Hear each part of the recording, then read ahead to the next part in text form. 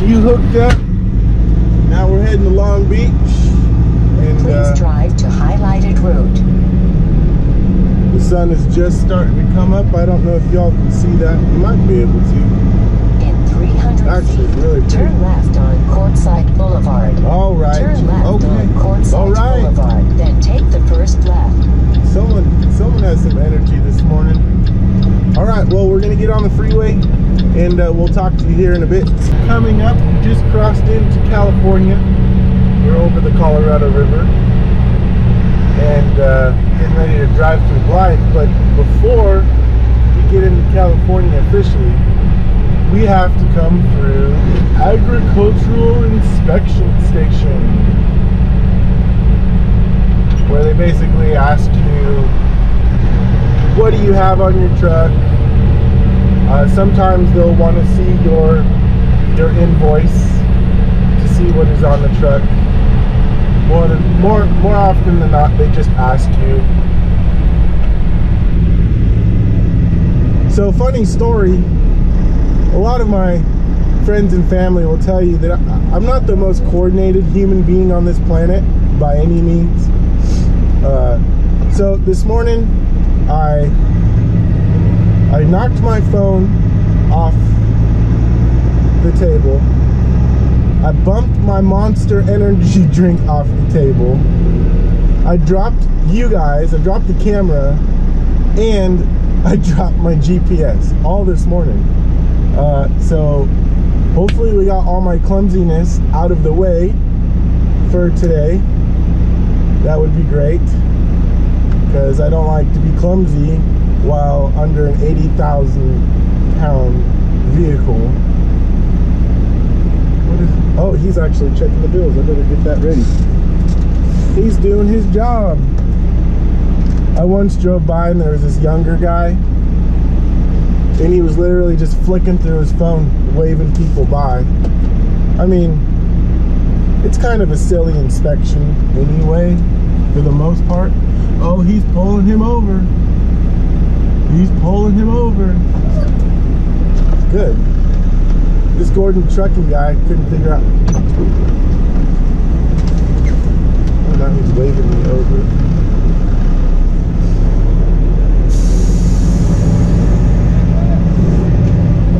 recycling recycling stuff we good yeah it's just like cardboard yeah all right thank you this guy is he's doing his job thoroughly today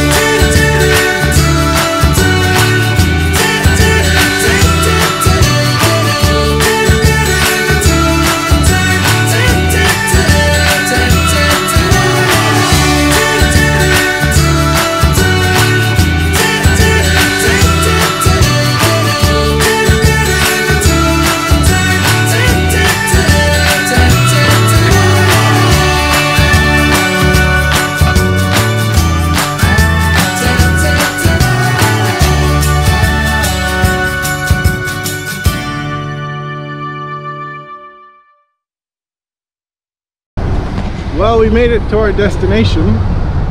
We are in Long Beach, California. at the port. Well, very near it, anyways. This is like uh, a district where all the port trailers, so all the big containers they go on those big ships, is where they get loaded. I think you saw that in the footage we were going by. I think maybe we could see over here. Can you see that? Way over there. They, they stack these trailers really, really high. We're looking for 16. This is Gaylord. and uh, basically, you know, they stack the trailers onto the onto the big old transport ships and they go back and forth between all the other countries.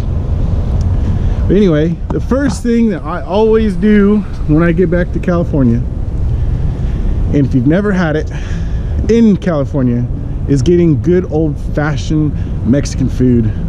Well, it's not old-fashioned Mexican food. If you've ever been to Mexico, food is very different there. But California Mexican food is the best version there is of Mexican food. So we're going to a place called Alberto's. Never been to it. Um, so, but I'm gonna get a, more than likely either a California burrito or a big carne asada burrito. Because that's my favorite. Or carne asada fries. If you've ever had, if you have never had carne asada fries, that is the best thing to try. But we are in a really interesting district of Long Beach. There's those ports again there. Uh, I'll be honest, I'm not too sure I fit in down here or should I be walking alone, but we'll see. We made it.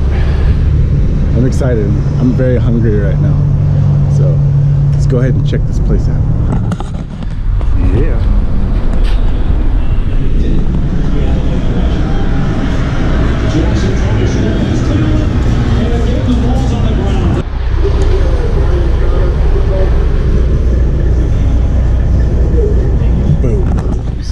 Right there? Super fries. That's what we're gonna get. It's right here. It's right here. Oh my gosh. Okay, so hot carrots. You gotta have the hot carrots. And then check this out. Check this out. Check this out. You ready? Look at that. Look at that deliciousness. Can you get in that? Get in that. Get in that. Look at that. Carne asada super fries. That is what's going down. So we're back into the dock. They called us early, about an hour early, so that's pretty cool. But we are definitely at the home of the garbage. Check that, check this out, check this out, check this out. Over there, there's a whole stack of it. And basically, what they're doing is they're offloading it onto me and then I think they just moved it but what they do is they'll put it right onto a container a container like that so and they're pretty quick. Whoa there we go. It can get bouncy for sure with them going in and out with each bale is I, he said it was 2,100 pounds plus the weight of those little forklifts. They kind of like roll around. I just hit you on the window. Um, like those um, those pit stop cars from uh, from the movie Cars. It's kind of funny watching them like drive around and stuff. They they're really good at what they do that's for sure it uh, takes a lot of talent and skill to be a forklift operator at a facility like this. Uh, so I'll probably be here for probably no more than like 25 30 minutes. That's crazy. Look at my antenna. My antenna is just like wobbling. And uh, and then uh, head back to the the Fontana yard and then hang up the keys for the night at least possibly even tomorrow since it's the holiday a lot of places are going to be closed including the port. So we'll see what goes from there. Talk to you later. Oh wait. Okay so here, let me turn that off. So we're finished uh, unloading and he's like hey do you want to sweep it out? And I was like well I'll do it later because I'm going to the yard and I can sweep out there uh, then I realized I don't have my trash bags with me and I could just sweep it out onto the floor here. And I'm really glad that I went back there uh, because they probably left about 50 pounds of trash in this trailer. Now, and I feel really bad. I don't think, this is a 2016 trailer that I'm towing. So it's a newer one. It was manufactured May of this year. And it now is stained with not only the smell, but on the floor, there's garbage juice stains on the floor. So I swept it out, Woo. got my workout in for the day. Uh, now we're getting ready to head back to the yard.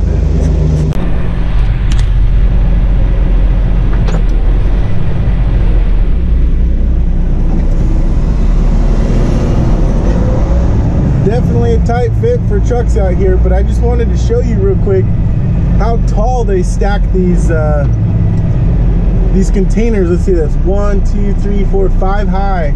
Just storing them, you know, just chilling. All right, let's get back to driving.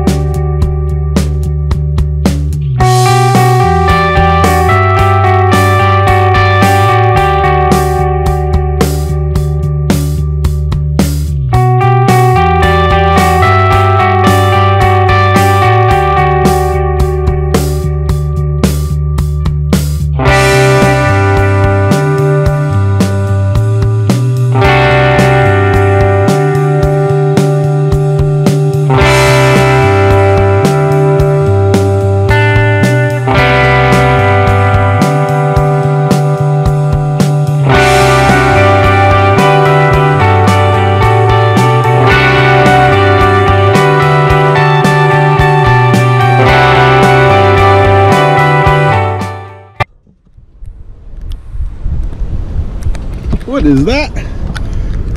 Is that rain? Oh my goodness. It's raining. It's raining. Look at you, you got all wet.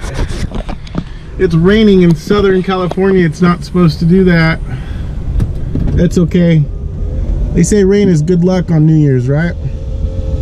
I don't know. Maybe they don't say that. oh, shoot. So we're back at the terminal and uh, we're all settled in for the night. Getting ready to ring in the new year. Oh i'm like shaking you around. That's crazy. Uh try to be more stable. I usually have you sat down but i'm i'm being lazy. So we're parked with the bobtails. Look at that. Like can you see how like it's crazy. It's so packed here. I literally I had to I had to give somebody my empty trailer because they had to load to go pick up and so I could find a place to park because there's no open spots. That's how packed it is for the New Year's. So we're just chilling here for the night and then I'm really looking forward to putting this year in the books. Ended 2016 on a very positive note. Um, but I'm still very happy to see it gone and very looking forward to 2017 I have lots of plans. I have uh, lots of goals uh, and, and, things I want to accomplish. I don't know if I would necessarily call them New Year's resolutions specifically, but I do have a list of goals for 2017. And I'm not trying to be cliche with that or anything. because some of the goals are going to take more than a year and we'll we'll do an episode on that where, where I talk about what my goals and why why I came into trucking and and uh, what I want to accomplish while I am an over the road truck driver. Because being an over the road truck driver is truly a very big sacrifice. Uh, you literally are home no more than three or four days a month uh, and that's if you come home that often. I typically stay out anywhere from four to, to eight weeks at a time and I'll take three or four days off. And every other day I'm running, as you'll probably find out. So I'm going to leave it on that note. I want to wish all of you a very, very happy new year. I hope everything that you want to get done in this next year gets done and is prosperous for you and everything works out, you know, the way you want it to. It won't. Oh man, Matthew, don't be nice. Look, now I'm talking to myself. Anyway, I really do. I really, I really hope that everybody has has a good, safe night tonight, and and has a wonderful, wonderful New Year. And uh, we'll talk to you tomorrow.